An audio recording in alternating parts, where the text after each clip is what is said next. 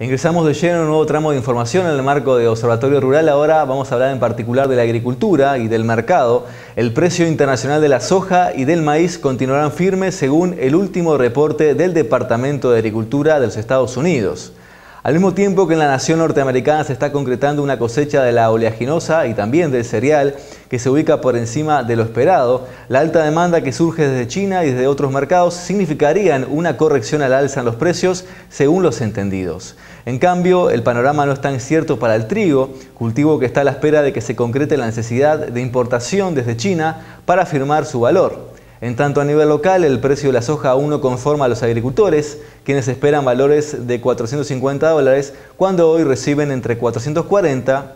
y también 445 dólares por tonelada. En cambio, el precio del maíz ingresó en un proceso de recuperación como consecuencia del ingreso a Uruguay de maíz paraguayo,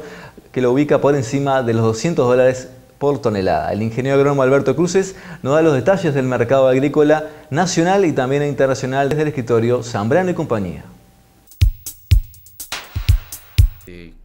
General de que lo que hay es un, aumento en los volúmenes cosechados, eh, tanto de soja como de maíz, este, realmente eh, rendimientos muy buenos,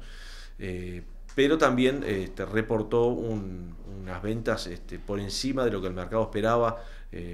tanto en el mercado doméstico como en el mercado exterior. China está comprando con bastante, bastante intensidad, tanto soja como otros, otros granos. Eh, el mercado este, americano a su vez está también con, un consumo muy interesante, tanto para maíz en particular como para soja. Y bueno, esto sin duda que en el mercado eh, significó una corrección al alza, lo cual está permitiendo en estos últimos días una recuperación en los valores de, la soja y también del, maíz. Eh, no así en el trigo, en el trigo este, hay claramente un,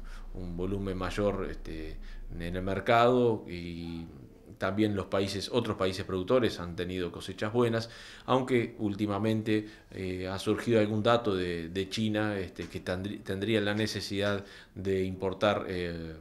para abastecerse. Normalmente ellos tienen una muy buena cosecha de trigo, este año han tenido algún problema con, eh, provocado por situaciones climáticas eh, y bueno, eh, tendrían necesidad de importar, eso significaría este, sin duda una,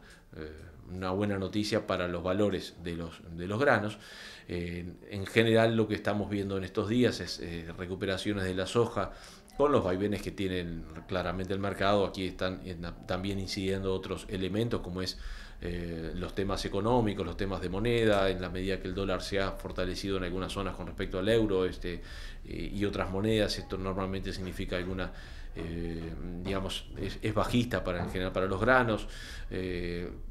hay elementos de política económica y de situaciones de, otros mercados que hacen que los fondos vayan posicionando en forma distinta y, bueno, y tenemos los vaivenes de, de, cada jornada, pero en líneas generales lo que estamos teniendo es una recuperación de valores que hoy están permitiendo eh, a los productores eh, uruguayos que están plantando soja tener la opción mm, sea un poco más cercana a lo que mucha gente esperaba, a los 445, 446 y alguna cosita más para la soja entrega Palmira en, mayo de 2014. Este, en general la gente está esperando valores entre los 450 y los 460 para ir tomando posición de venta. Este, vamos a ver cómo, cómo sigue en estos días el mercado y ver si se, si se llega a esos valores. En el caso del maíz eh, hay un tema claramente eh, regional y, nuevamente Argentina acá este, le está pasando con el maíz lo mismo que le sucedió con el trigo, con valores realmente fuera de lo que eh, ocurre en el mercado internacional. Ha habido en estos últimos días también un aumento en los valores de, del maíz que está llegando desde Paraguay. Eh, eso ha permitido que algunos productores que tienen algún volumen de maíz aquí en Uruguay esté eh, obteniendo valores encima de los 200 dólares la tonelada. Este, vamos a ver cómo, cómo sigue moviéndose el mercado, pero bueno, este, como decía, ha habido alguna recuperación también a nivel del mercado internacional con respecto a los, a los maíces y esto es claramente una buena noticia, un área que se ha, se ha establecido por lo menos por ahora con, con bastante buen, desde el punto de vista productivo, bastante bien. Este, hay claramente un área de, una intención de siembra de segunda de maíz que esperemos que, se confirme, ¿verdad? En el caso del trigo, eh, ha habido una corrección a la baja, se llegó a, manejar valores arriba de los 330 dólares a tonelada, hoy está más bien sobre los 310, incluso alguna cosita menos que eso. Este,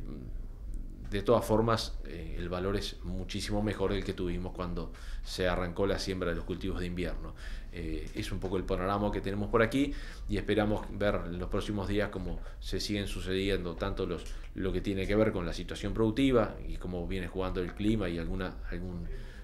dato que hay de lluvias relativamente este, seguidas